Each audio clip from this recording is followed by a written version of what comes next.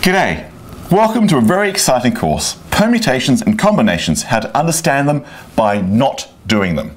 In fact, here's the normal question that drives people absolutely batty in a traditional permutations and combinations course. Does order matter? That causes so much brain ache and woe. My advice is never ask that question.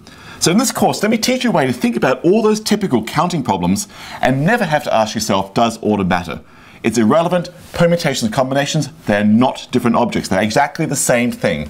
So this course will explain exactly what I mean by that and how to make all that work so much more natural and easy and simple as beans. So in this course, we'll even go beyond that. We'll play with various ideas like Pascal's triangle and binomial theorem. For example, some people might not know Pascal's triangle rises in many strange places. For example, the powers of 11. 11 squared is 121. 11 to the 1th power, that's much easier, is just 11. 11 to the 0th power is just 1. 11 cubed is 133, 1 it turns out to be.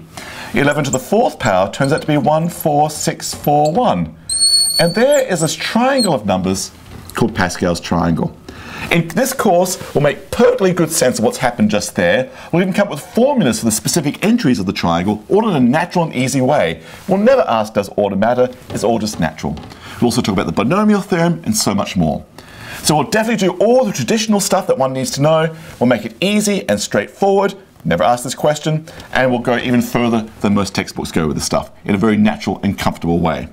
In fact, so this course is structured as follows. If you want a sneak peek of what the general basic approach is that makes this all ridiculously easy, go to lesson 1.1. Just give a very quick overview of what the approach is.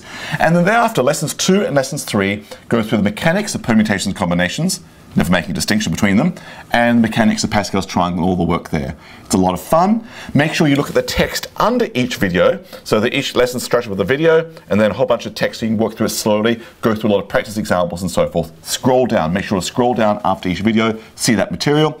And there's a companion guide to this course, which has all the text printed out for you, plus all the solutions to all the exercises if you want to check your answers. Great stuff, let's get cracking. This is natural and easy. Let's get rid of that question from our lives. Awesome.